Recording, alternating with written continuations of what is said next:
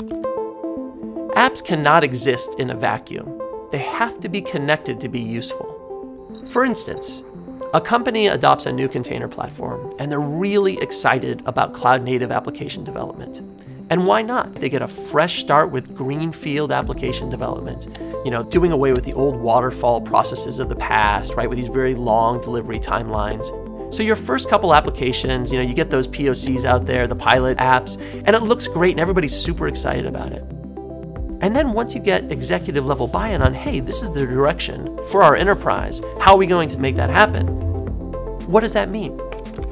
That means you actually have to connect to the real systems that drive your business today.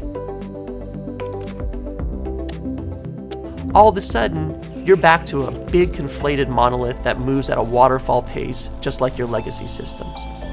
Then all those benefits, the flexibility, the scalability, the agility, get lost in the process.